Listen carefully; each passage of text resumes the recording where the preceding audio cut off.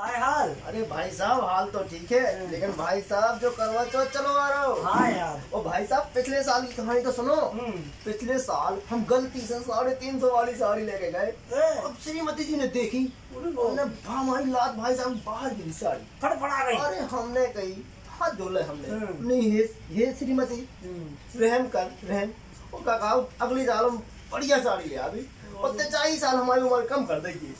तब मानी भाई साहब बहुत गुस्सा हो गई थी का है ना कि इन्होंने उनको फंडा जो है कि तीन सौ चौसठ दिना तो इन्हें जीवन नहीं देने कोई एक दिन व्रत लेके मरण नहीं देने बिल्कुल यही हाँ कहानी और कसो हम तो कह रहे करवा लो रिचार्ज वो से अपन टिके नहीं तो आप लोग तो पार ही ना हो जाते